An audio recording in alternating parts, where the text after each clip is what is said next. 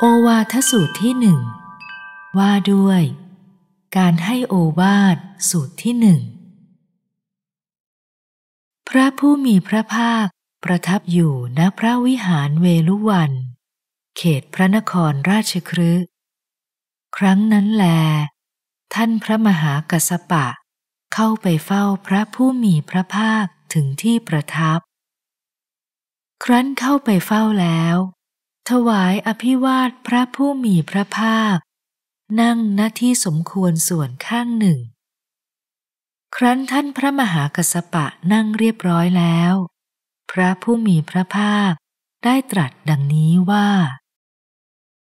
ดูกระกัสสปะ เธอจงกล่าวสอนภิกษุทั้งหลาย จงกระทำธรรมมีกถาแก่ภิกษุทั้งหลาย เราหรือเธอ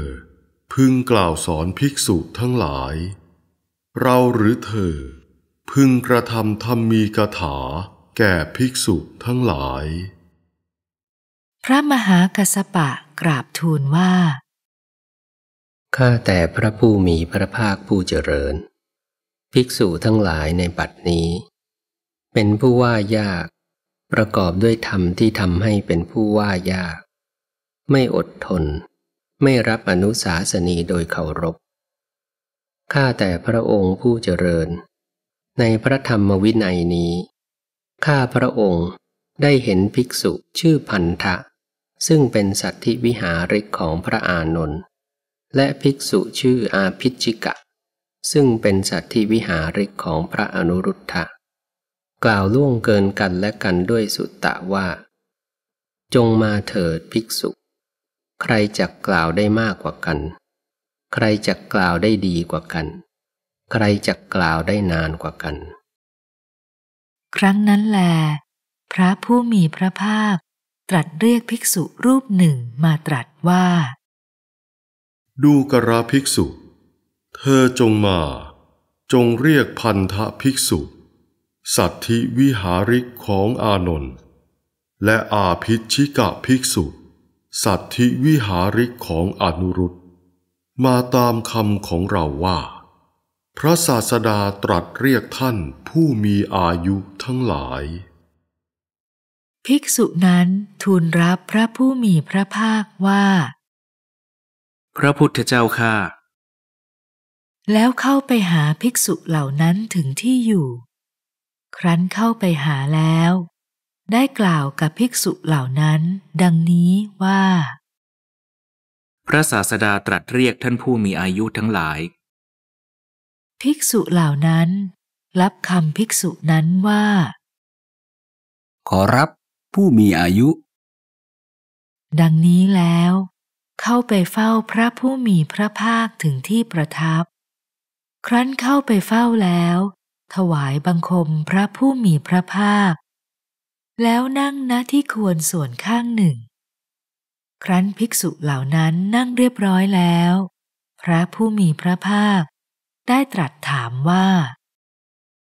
ดูกระภิกษุทั้งหลาย ได้ยินว่า พวกเธอได้กล่าวล่วงเกินกันและกัน ด้วยสุตตะว่า จงมาเถิดภิกษุ ใครจะกล่าวได้มากกว่ากัน ใครจะกล่าวได้ดีกว่ากัน ใครจะกล่าวได้นานกว่ากัน ดังนี้จริงหรือ ภิกษุเหล่านั้นทูลรับว่า จริงอย่างนั้น พระพุทธเจ้าข้าดูกระภิกษุทั้งหลาย พวกเธอรู้ทั่วถึงธรรมที่เราแสดงไว้แล้วอย่างนี้หรือหนอ พวกเธอจึงกล่าวล่วงเกินกันและกัน ด้วยสุตตะอย่างนี้ว่า จงมาเถิดภิกษุ ใครจะกล่าวได้มากกว่ากัน ใครจะกล่าวได้ดีกว่ากัน ใครจะกล่าวได้นานกว่ากัน ไม่เป็นอย่างนั้นเลย พระพุทธเจ้าข้าดูกระภิกษุทั้งหลาย ถ้าว่าพวกเธอ ไม่รู้ทั่วถึงธรรมที่เราแสดงแล้วอย่างนี้ ดูกระโมคบุรุษ เมื่อเป็นเช่นนั้น พวกเธอรู้อะไร เห็นอะไร บวชอยู่ในธรรมวินัยที่เรากล่าวดีแล้วอย่างนี้ ย่อมกล่าวล่วงเกินกันและกัน ด้วยสุตตะไปทำไมเล่าว่า จงมาเถิดภิกษุ ใครจะกล่าวได้มากกว่ากัน ใครจะกล่าวได้ดีกว่ากัน ใครจะกล่าวได้นานกว่ากัน ครั้งนั้นแหลภิกษุเหล่านั้น ซบศีรษะใกล้พระบาทพระผู้มีพระภาค แล้วได้กราบทูลพระผู้มีพระภาคว่าข้าแต่พระองค์ผู้เจริญ โทษได้ครอบงำข้าพระองค์ทั้งหลาย ผู้พานอย่างไร ผู้หลงอย่างไร ผู้ไม่ฉลาดอย่างไร ข้าพระองค์เหล่าใด บวชในพระธรรมวินัย ที่พระผู้มีพระภาค